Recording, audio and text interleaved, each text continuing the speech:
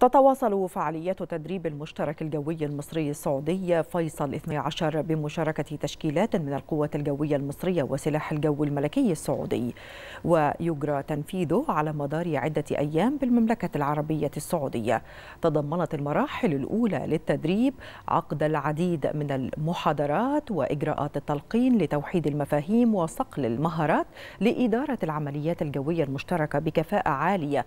فضلا عن تنفيذ العديد من الطلعات الجوية المشتركة لمهاجمة الأهداف المعادية وحماية الأهداف الحيوية بمشاركة مجموعة من المقاتلات متعددة المهام.